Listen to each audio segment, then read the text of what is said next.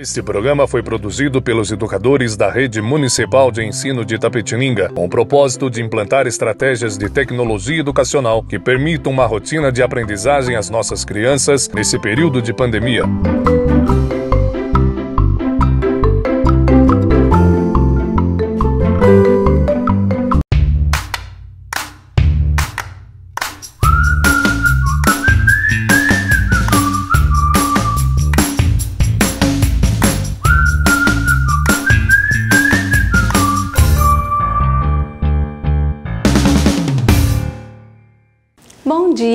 Eu sou a professora Rosana, do primeiro ano da Rede Municipal de Tapetininga. Estarei aqui diariamente, nesse mesmo horário, juntinho com vocês, para darmos continuidade às nossas aulas e aprendermos um pouquinho mais. Bom, nesse primeiro momento, eu vou pedir para que vocês peguem o caderninho de classe, deixe do ladinho, juntamente com o lápis e borracha, combinado? Bem, nós iniciamos a nossa aula de língua portuguesa conversando sobre as listas. E vocês sabem me dizer para que servem as listas? Hum, muito bem! As listas, elas nos ajudam a organizar muita coisa do nosso dia a dia, como por exemplo, alistar quem serão os nossos convidados para a nossa festa de aniversário, quais serão os docinhos que iremos servir, ajudar a mamãe a organizar, a fazer a sua compra no mercado, não se esquecendo de nada do que precisa comprar, certo? Enfim, a lista nos ajuda muito a organizar a nossa rotina do dia a dia. Bom, e hoje eu trouxe aqui algumas frutas e vou pedir para vocês me ajudarem a construir uma lista de frutas. Sabe por quê? Essa lista eu vou estar mandando para minha mãe para que ela possa comprar as frutas e fazer uma deliciosa salada de fruta. Mas para isso preciso que vocês me ajudem na minha construção dessa lista. Enquanto eu vou escrever aqui com a ajuda de vocês, vocês estarão também registrando no caderno, combinado? Vamos lá então? Bom, eu trouxe as minhas frutas preferidas, que é o abacaxi, a laranja, banana e a pera. Essa salada ficará deliciosa, certo? Bom, vamos começar pelo abacaxi. Eu quero que vocês me ajudem. Como eu vou iniciar a escrita da palavra abacaxi? Muito bem, abacaxi começa com a letra A.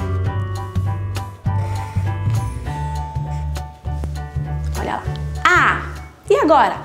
A, ba. Como que é o ba? Vamos lá? Muito bem! Ba, o B e o A.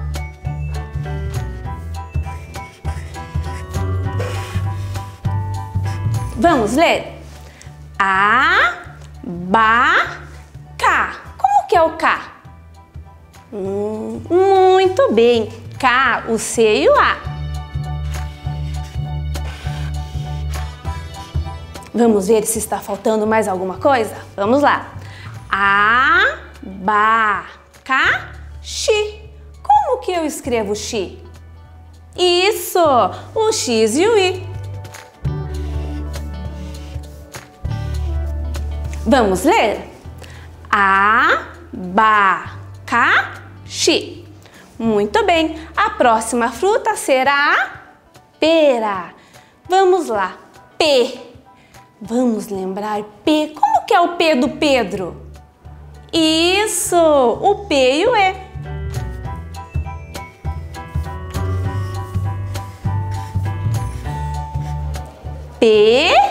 Pera. Como que eu escrevo ra? Vamos pensar? Ótimo, o R e o A.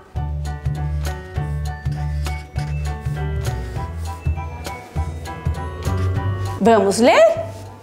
Pera. Perfeito. A próxima será a laranja. Lá. Como que eu vou escrever o lá? Isso, o L e o A.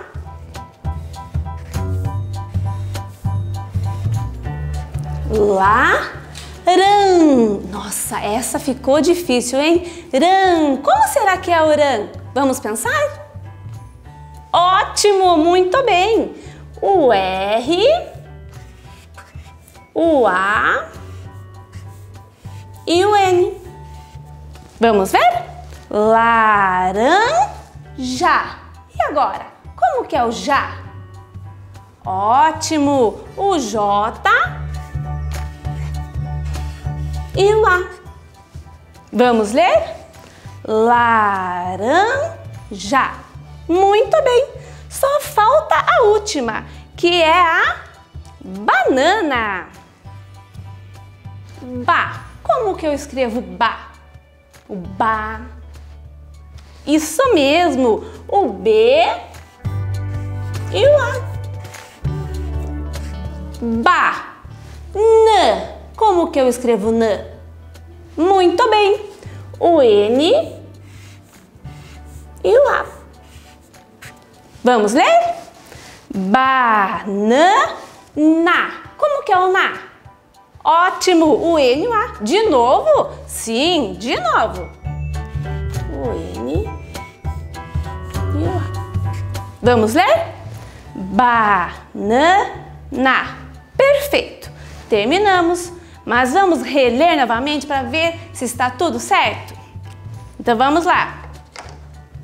Lista de frutas: abacaxi, pera, laranja, banana. Perfeito! Agora eu já posso mandar essa lista para minha mamãe comprar e fazer aquela deliciosa salada de fruta. Vocês, ó, foram 10, me ajudaram muito. Bom, nossa aula já chegou ao fim, mas amanhã estaremos juntos novamente nesse mesmo horário, lembrando que vocês devem estar com o livro para darmos continuidade à nossa aula, combinado? Ah, uma coisa muito importante também. Não esqueçam de lavar muito bem a mãozinha, lembrar o papai, a mamãe, os irmãos de fazer sempre a mesma coisa. Lavar muito bem a mãozinha e procurar não sair de casa, tá bom? Precisamos nos unir para que tudo ocorra bem, certo? Espero amanhã vocês.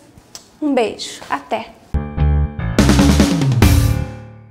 Bom dia, sou a professora Manuele Silvério e vou estar aqui com vocês todos os dias neste mesmo horário para dar continuidade nas aulas do segundo ano do ensino fundamental da Rede Municipal de Ensino daqui de Tapetininga.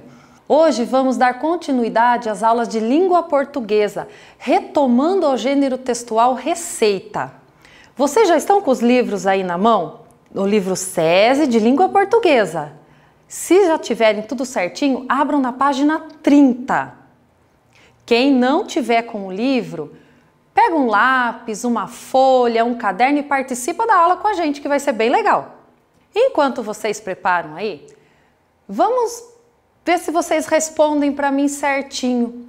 Como que se escreve uma receita? Como que a, receita, é, é, o texto dela, a escrita dela, fica diferente dos outros textos? Por quê? Sabem me dizer? Muito bem, é isso aí. A receita, ela tem os ingredientes e o modo de preparo. Ah, então agora com o livro aberto, vamos ver o que está sendo pedido aí para a gente poder estar tá fazendo essa escrita. No livro está marcado que o primeiro momento da receita, a primeira parte, é o título. Você tem que saber o que você vai querer fazer. E nós, a, a Pro aqui, resolveu trazer para vocês no dia de hoje uma receita que vocês vão adorar, principalmente porque estão aí na casa. Vamos aprender a preparar a massinha de modelar caseira. Façam uma letra bem bonita para dar para entender e mamães, olhem aí, ver se eles estão fazendo tudo certinho, hein? Agora, o que está pedindo aí depois do título? Isso, os ingredientes. Vamos escrevê-los aí? os ingredientes é uma parte, são uma parte muito importante da receita, porque através deles é que a gente vai saber o que nós iremos usar nessa receita, né? E a nossa, para nossa alegria, nós vamos usar duas xícaras de farinha de trigo. Pede para a mamãe aí ajudar você a anotar. Uma xícara de água meia xícara de sal. Fiquem espertos na hora de marcar. Olhe bem como que a gente escreve meia numa receita. Dessa forma aqui, todo mundo que um dia olhar sua escrita vai saber o que, que ela está simbolizando.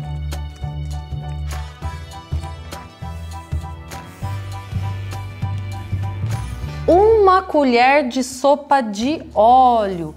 Essa colher de sopa que está entre o parênteses é a medida da colher, o tamanho que deve ser usada para colocar o óleo, certo? E agora? Já escreveram tudo? Já colocaram tudo bem bonitinho aí no livro? Ah, agora, agora então, já que vocês já sabem tudo que nós vamos usar na nossa, na nossa massinha, na nossa receita, Peçam ajuda para a mamãe, deixa tudo separadinho que iremos continuar a nossa escrita e preparar a nossa massinha para depois a gente poder aproveitar e brincar bastante. Bom dia, crianças! Tudo bem com vocês? Eu sou a professora Adriana Targino, do Sistema Municipal de Ensino de Tapetininga. Eu sou professora do terceiro ano. E a partir de hoje nós teremos uma rotina de estudos. E eu espero vocês todas as manhãs aqui. Tudo bem? Então vamos lá. Para nós começarmos a nossa aula hoje, eu vou pedir para que vocês peguem o nosso livro de língua portuguesa. Olha lá, o nosso livro de língua portuguesa. Quem já pegou o livro, abram lá na página, nas páginas 10 e 11. Olha lá, vou repetir. Páginas 10 e 11. Eu vou abrir o meu. Olha lá. Nessa unidade, nós vimos sobre regras de jogos e brincadeiras, bem como também algumas brincadeiras tradicionais. O que são brincadeiras tradicionais? Brincadeiras tradicionais foram aquelas que foram contempladas pelos antepassados de vocês. Elas foram sendo passadas de pais para filhos, de geração por geração, até chegar no dia de hoje. E vocês também estão tendo essa oportunidade de conhecê-las. Tudo bem? Vale lembrar também, crianças, que nós estamos trabalhando um gênero textual. Vocês se lembram o que é um gênero textual? Regras de jogos de brincadeira, ele é um texto instrucional. O que é um texto instrucional? Texto instrucional é aquele que nos fornece informações exatas de como fazer algo. E nós aprendemos quais são os elementos que compõem regras de jogos e brincadeiras. Vocês se lembram? Nós temos lá o título, material necessário, número de participantes e como brincar. E para vocês relembrarem junto comigo, juntos comigo, eu vou convidar vocês a abrirem agora lá na página 16. Então vamos lá, página 16. Nessa página, além de relembrarmos uma atividade, uma brincadeira tradicional, também veremos os elementos que compõem esse gênero textual. Vamos junto comigo na atividade número 3. Olha lá. Acharam aí? Então vamos lá. Primeira coisa, o que, que nós temos lá? O título. O que, que está escrito lá? Qual que é o título dessa brincadeira? Cama de gato. O segundo elemento, material necessário. Então, nós daremos o barbante. Número de participantes, dois ou mais. Como brincar?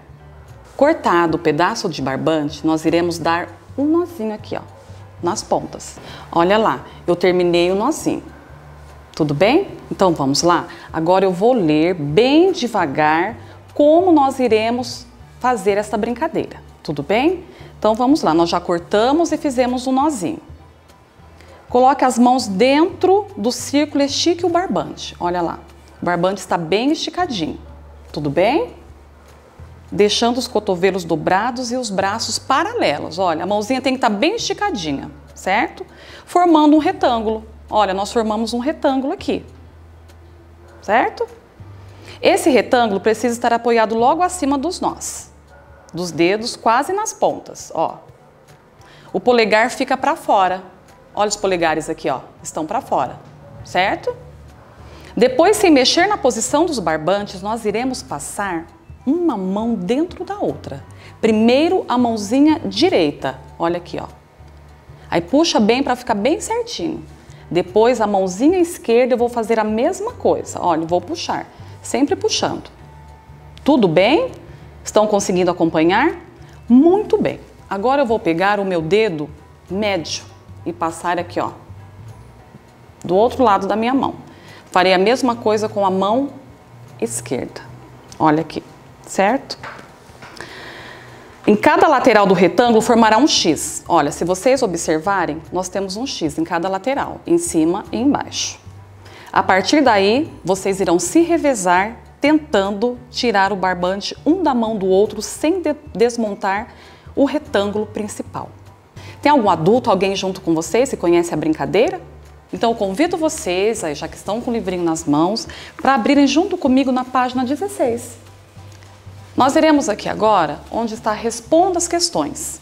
Olha lá, ela diz assim: Você acha que esse título, você acha esse título adequado para essa brincadeira? Justifique a sua resposta. Se você acha, sim, por quê? Se você não acha, não e por quê?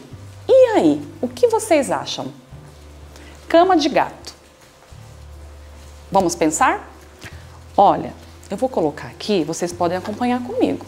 Eu vou colocar aqui a opinião dos meus alunos quando nós estávamos em sala de aula. Vou colocar aqui na lousa a opinião que eles deram para mim. Tudo bem? Então, olha lá. Eles acharam que sim.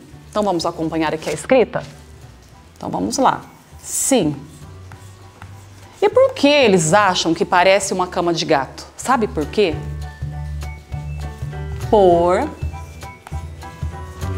ficar um emaranhado. Emaranhado.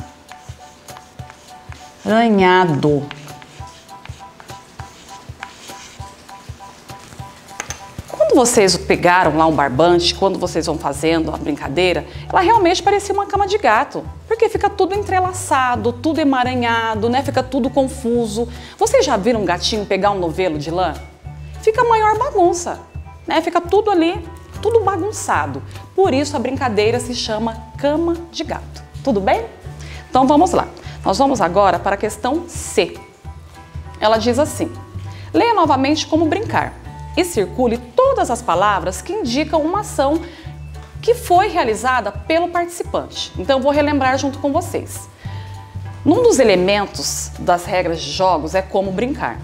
Neste jogo, no jogo em cama de gato, ele diz assim: corte, coloque, faça, estique, use, leve, essas expressões na D diz assim: Nesse texto você encontrou palavras como essa. Vou repetir novamente: corte, coloque, estique, use, leve e faça. O que essas expressões, o que elas exprimem? Ou seja, o que elas querem dizer para nós? O que elas significam?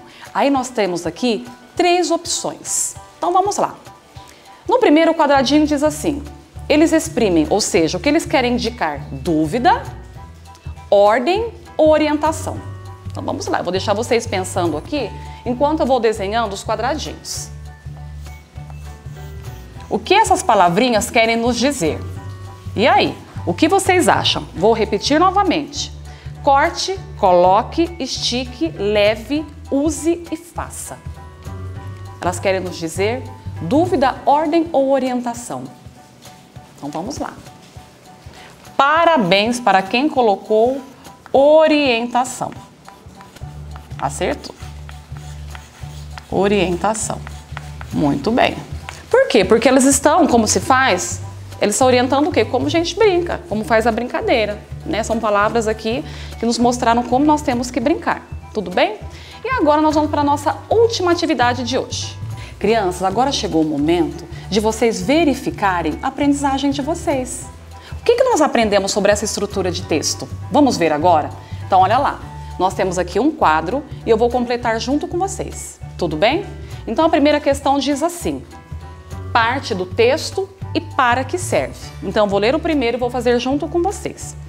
Qual parte do texto serve para informar o nome do jogo ou da brincadeira. Que parte do texto é essa? Se lembraram? Então vamos lá. Acertou quem colocou que era o título. Tudo bem? Acertaram? Já escreveram? Posso ir para a segunda? Então vamos lá.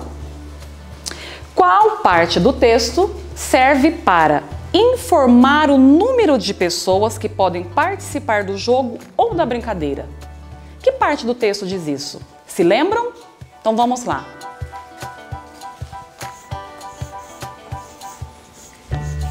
Número de participantes. Muito bem, eu acho que vocês devem estar craque na casa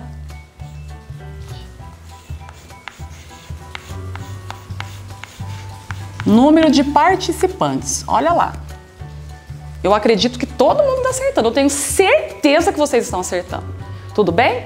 Então vamos para o terceiro quadradinho. Qual parte do texto serve para informar o que é preciso para jogar ou brincar? Que parte é essa? Se lembraram? Então vamos lá. Material material necessário. Muito bem. Eu acredito que todo mundo está conseguindo fazer. Material necessário. E por último, qual parte do texto serve para explicar como jogar ou brincar? Lembraram? Então vamos lá. Como se brinca. Muito bem. Como se brinca? Olha, o que, que nós temos aqui? Nós temos a estrutura dos gêneros de regras, de regras e brincadeiras. Né? Aqui nós seguimos todas, todos esses elementos que compõem esse gênero textual. O título, número de participantes, material necessário e como se brinca. Tudo bem? Para finalizar nossa aula de hoje, nós iremos aqui ó, na última atividade, que é a atividade número 4. E por falar em, bem, como vocês estão em casa, eu vou dar uma tarefa para vocês. E essa tarefa vai ser uma pesquisa para saber quais eram as brincadeiras preferidas dos seus pais, tios ou avós quando eles eram crianças. E aproveitando esse momento que vocês estão juntamente com as famílias de vocês, vocês devem fazer essa pesquisa. Tudo bem? Eu espero que vocês tenham gostado, né? Eu espero que vocês tenham aprendido. Vamos relembrar então o cuidado que nós temos que ter em lavar as mãos, estar sempre higienizando e não sair de casa. Tá? Muito obrigada e até a próxima aula. Um grande beijo da professora Adriana. Bom dia, amiguinhos do quarto ano, tudo bem com vocês? Bom, meu nome é Natália, sou professora da Rede Municipal de Tapetininga e vim aqui para dar uma aula para vocês. Essa aula é muito especial sobre fábulas. Vocês vão usar esse livro de língua portuguesa do SESI. Então já vão pegando aí. A página que a gente vai usar é a página 12 e 13. Enquanto vocês estão aí abrindo o livro, eu vou mostrar para vocês a unidade. Unidade 1, qual é a moral da história? Fábulas e mais e mais fábulas. Na página 12, lá na história da lebre e a tartaruga, acompanhem a minha leitura, tá bom? A lebre vivia se gabar de que era o mais veloz de todos os animais até o dia em que encontrou a tartaruga. Eu tenho certeza de que se apostarmos uma corrida, serei a vencedora, desafiou a tartaruga. A lebre caiu na gargalhada. Uma corrida? Eu e você? Essa é boa. Por acaso você está com medo de perder? perguntou a tartaruga. É mais fácil um leão cacarejar do que eu perder uma corrida para você, respondeu a lebre. No dia seguinte, a raposa foi escolhida para ser a juíza da prova. Bastou dar o sinal da largada para a lebre disparar na frente, a toda velocidade. A tartaruga não se abalou e continuou na disputa. A lebre estava tão certa da vitória que resolveu tirar uma soneca. Ai, ai. Se aquela molenga passar na minha frente, é só correr um pouco que eu ultrapasso, pensou. A lebre dormiu tanto que não percebeu quando a tartaruga, em sua marcha vagarosa e constante, passou. Quando acordou, continuou a correr com ares e vencedora. Mas, para sua surpresa, a tartaruga, que não descansara um só minuto, cruzou a linha da chegada em primeiro lugar. Desse dia em diante, a lebre tornou-se o alvo das chacotas da floresta. Quando dizia que era o animal mais veloz, todos lembravam-na de uma certa tartaruga. Moral: quem segue devagar e com constância sempre chega na frente. Essa fábula é de Esopo, mas tem outras versões também, tá bom? E aí, turminha, o que vocês acharam dessa fábula? Vocês gostaram? Alguns professores já devem ter passado para vocês, mas vamos relembrar. Todos os gêneros têm suas características. A fábula também. Vamos então relembrar as características da fábula, tá bom? Texto curto. Pode ser escrito em prosa ou em verso. Lembrando, prosa, parágrafos, verso, como um poema. Personagens são geralmente animais com características humanas. Por exemplo, que pensam, falam, têm costumes, etc. E a última característica apresenta um ensinamento, uma lição moral. Essa fábula aqui, a da lebre e a tartaruga que a gente acabou de ler, ela apresenta um ensinamento. E acredito que, como eu, vocês também devem ter aprendido. Devemos sempre ser constantes, determinados e não desistir nunca, como a tartaruga. Vamos, rele vamos relembrar? Toda fábula tem texto curto, pode ser escrita em prosa ou em verso, tem personagens animais, geralmente, com características humanas e apresentam um ensinamento, uma lição moral. Mas pensa que vocês vão ficar aí só observando? Tá na hora de vocês colocarem a mão no lápis. Abram o caderno de vocês em língua portuguesa e não esqueçam de colocar a data, tá bom? Vocês vão escrever três características que vocês se lembram do que a gente já estudou, tá bom? Da fábula. Ah, vale lembrar, a família pode ajudar. Vocês vão ter até amanhã para isso. Olha o comprometimento, hein? Na nossa próxima aula, leremos o, a fábula O Lobo e o Cordeiro. Está lá na página 22 e 23 do mesmo livro do SESI. Aproveitem em família, leiam e amanhã nós conversaremos sobre ela. Bom, antes de terminar, eu não posso esquecer. Lavem as mãos e evitem sair de casa, tá bom? Um beijo e até mais! Oiê! Bom dia, pessoal! Eu sou a professora Juliana, da Rede Municipal de Itapetininga e durante esses dias nós estaremos juntos e eu vou trabalhar com você da sequência nos conteúdos do quinto ano do ensino fundamental. Combinado? É, vocês já estão com os livros didáticos aí, né? Conseguiram ir buscar na escola? Foi tranquilo? Eu espero que sim. Quando nós estávamos lá na escola, nós estávamos estudando a unidade 1 que foi sobre a mitologia grega. Vocês gostaram? Eu estava amando esse conteúdo, os meus alunos então nem se fala. E eu quero saber de vocês qual foi a história da mitologia grega que você mais gostou. Eu vou contar a minha. A minha favorita foi da Caixa de Pandora, principalmente quando ele fala sobre o dom da esperança e como nós devemos ter esse dom em qualquer situação. Que a gente tendo esperança, tudo passa, inclusive essa situação tão difícil que a gente está passando agora, né? Então, encerrada a unidade 1 do livro, eu vou começar com vocês aqui na TV a unidade 3, em que nós vamos estudar uma nova tipologia textual que eu acho que vocês também vão achar muito interessante e muito legal. Então, a gente vai combinar assim. Para a aula de hoje, vocês precisam estar com o livro de língua portuguesa, certo? O livro Muitos Textos, Tantas Palavras, que nós vamos fazer uma leitura aqui. Vocês precisam também do lápis apontado ou uma lapiseira, que, o que vocês preferirem, a borracha de vocês e muita atenção, certo? Então, antes da gente começar, eu tenho algumas perguntas para fazer para vocês. Como a tipologia textual fala sobre detetives e investigações, eu quero saber: vocês gostam de charadas, de enigmas, de adivinhações? Eu adoro, acho que todo mundo gosta também. Então, com base nisso, eu vou pedir para que vocês abram o livro de vocês na página 68. Vamos lá?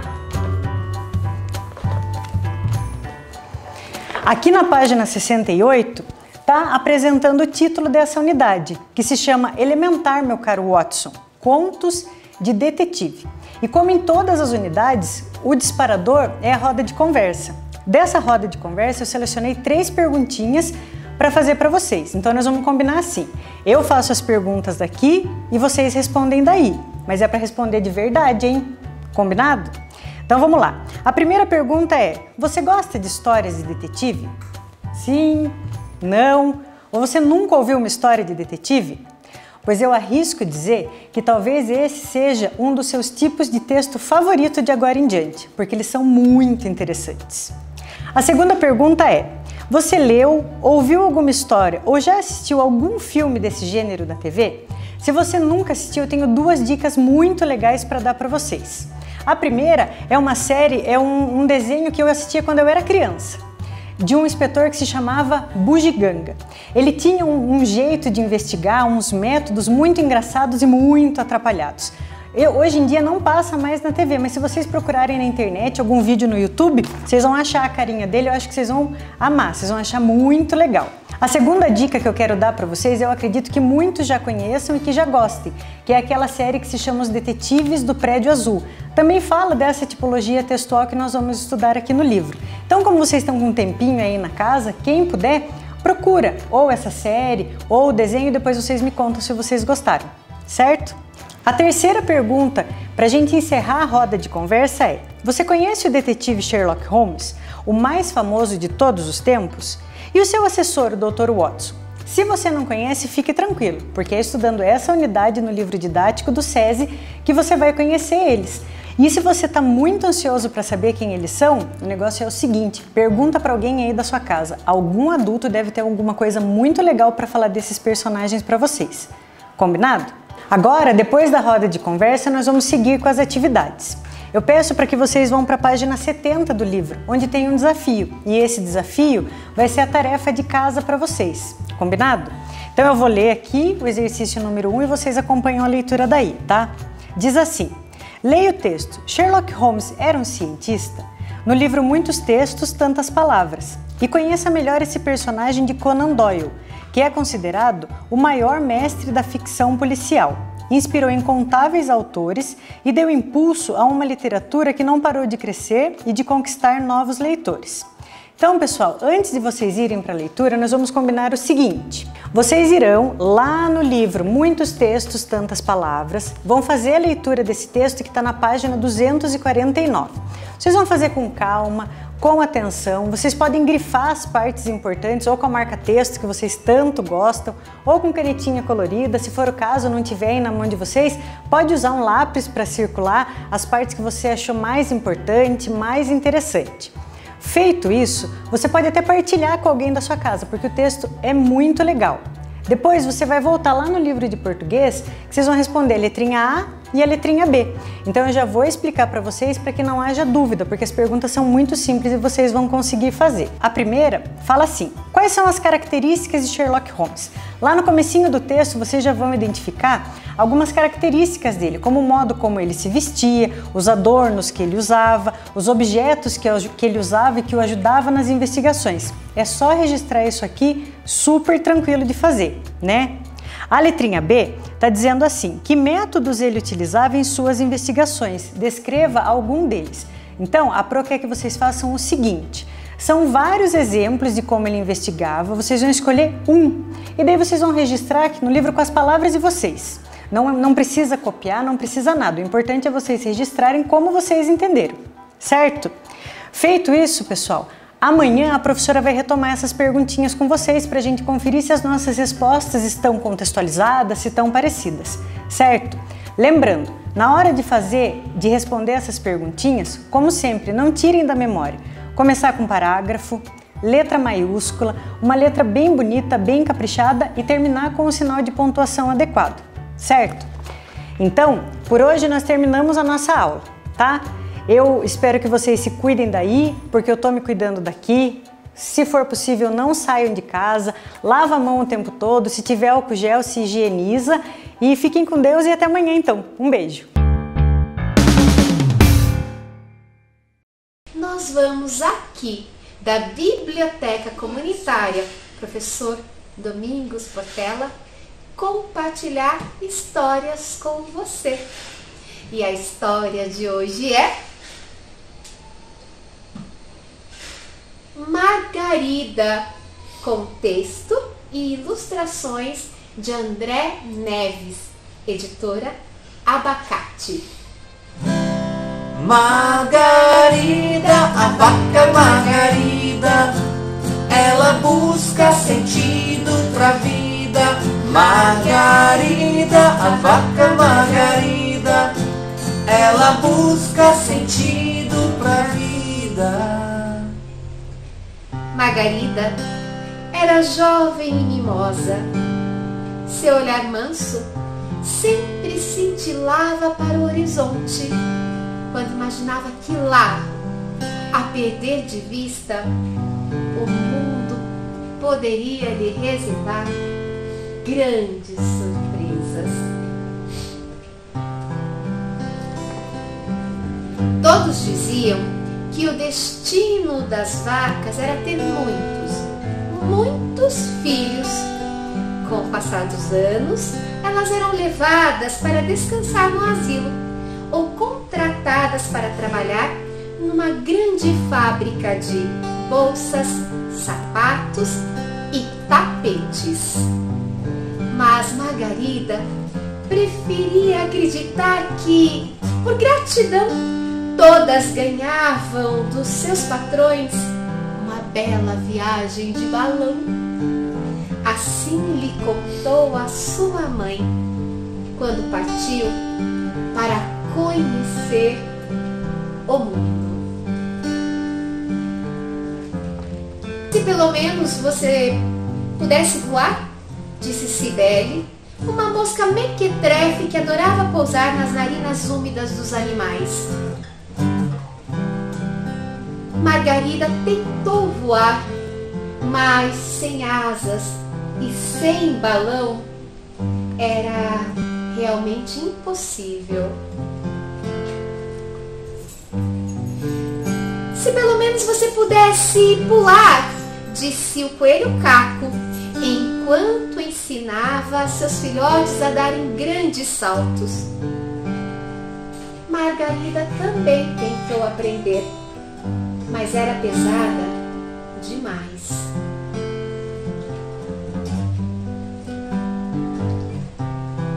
Se você fosse pequena, poderia passar por debaixo da cerca, disse Lui, um ratinho muito esperto.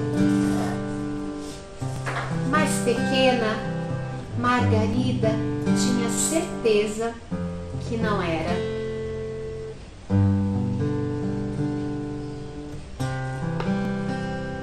Se você fosse forte como eu, quebraria a cerca, disse Otávio com ar galanteador. Margarida nem deu ouvidos.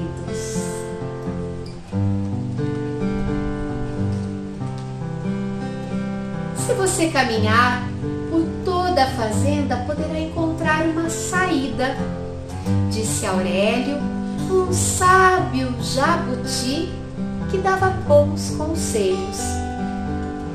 sempre uma cerca quebrada ou uma porteira aberta. Isso mesmo, disse Margarida e partiu.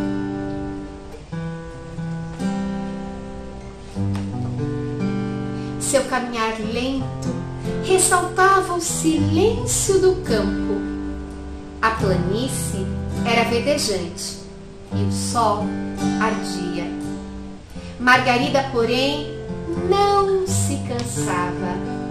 Andou quilômetros até encontrar uma cerca.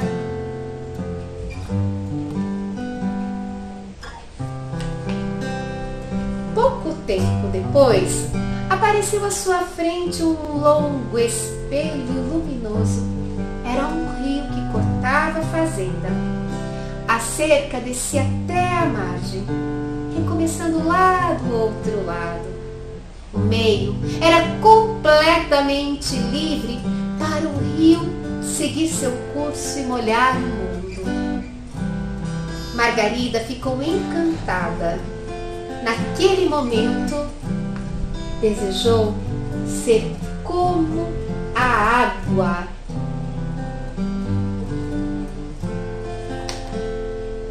Margarida uma vez escutou que todos os animais nasciam sabendo nadar, mas preferiu não arriscar.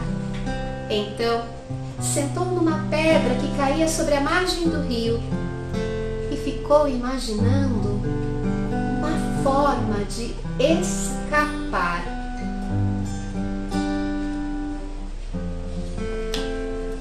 Bem sabia ela que lá fora a vida ninguém segura, mas do lado de cá nada podia fazer. E antes que uma tristeza transbordasse de seus olhos, o rio revelou algo surpreendente. Lá do fundo surgiu Alfredo, um grande e elegante peixe-boi que passava por ali.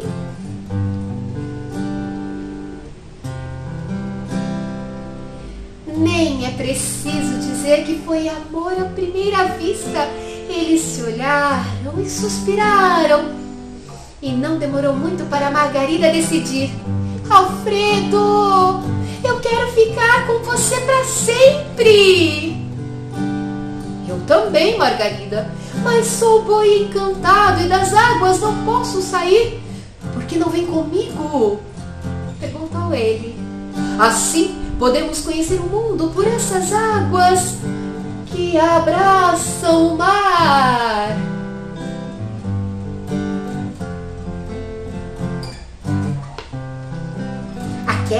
Era uma decisão importante. Por isso Margarida pensou, pensou. Antes de responder, pensou novamente e repensou. E quando o sol enfraqueceu, deixando rosado todo o céu, Margarida já sabia que Alfredo seria para sempre seu verdadeiro e grande amor. Então ela encheu seu coração de confiança, fechou os olhos, prendeu a respiração e mergulhou. Hoje eles nadam o mundo pelos sete mares.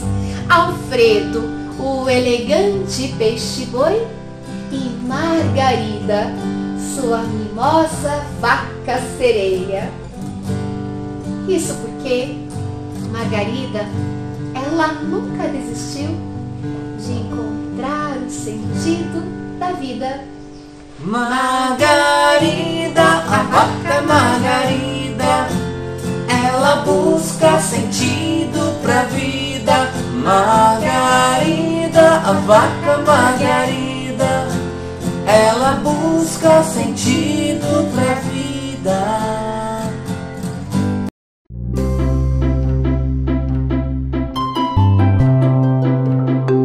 Este programa foi produzido pelos educadores da Rede Municipal de Ensino de Itapetininga, com o propósito de implantar estratégias de tecnologia educacional que permitam uma rotina de aprendizagem às nossas crianças nesse período de pandemia.